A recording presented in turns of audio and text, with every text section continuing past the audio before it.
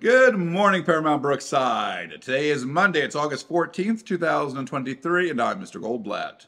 Please rise for the Pledge of Allegiance.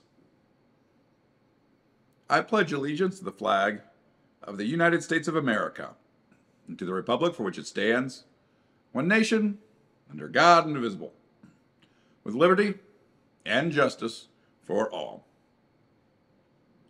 This week is an orange week. Lunch day is going to be a corn dog. We're going to be serving that up with some french fries along with celery sticks and assorted fruit.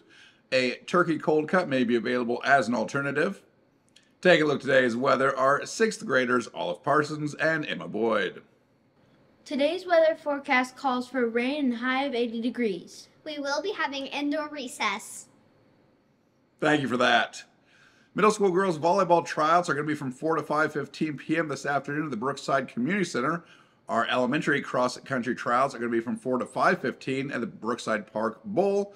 Tomorrow we're going to have middle school girls volleyball tryouts over the Brookside Community Center from 4 to 5:15 p.m. And on Wednesday the middle school cross country tryouts will be from 4 to 5:15 p.m. at the Brookside Park Bowl.